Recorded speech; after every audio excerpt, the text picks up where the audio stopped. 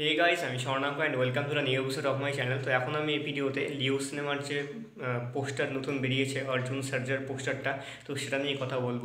তো অর্জুন সার্জা এখানে রয়েছে, আমরা আগে থেকেই সকলে জানতাম, এবং এখানে তার নামটা হচ্ছে অ্যান্টনি দাস। সরি অ্যান্টনি না হারাল্ড, এটা আমার কনফিউশন আছে। হারাল্ড দাসই হবে হয়তো।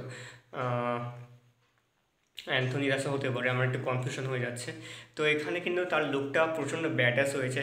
আমরা সবসময় তাকে অ্যাকশন সিনে দেখতে পাই এবং অ্যাকশন রোলে দেখতে পাই এবং তার নামটাই সেজন্য অ্যাকশন কিং অর্জুন সার্জা এবং সে চরম একজন অভিনেতা। আমি তার যা যা দেখেছি তার বেশিরভাগই আমার দারুণ লেগেছে।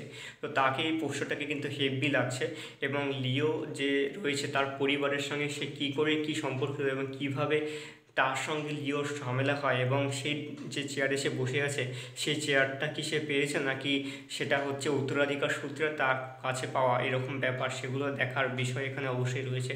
তবে এখানে লিও যে, লিও সিনেমায় যে অর্জুন সূর্যের ক্যারেক্টারটা রয়েছে সেটা কিন্তু একটা ব্যাডাস হয়েছে।